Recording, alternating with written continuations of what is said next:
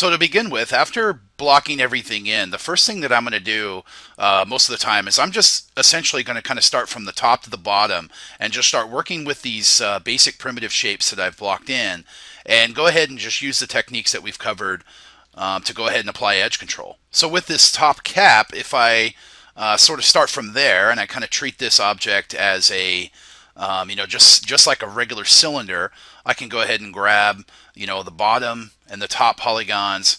Go ahead and hold down Control, switch to Edge mode, and that'll go ahead and grab those open faces that I have on the top and the bottom. Go ahead and grab this inner ring here. Go ahead and just loop that one around.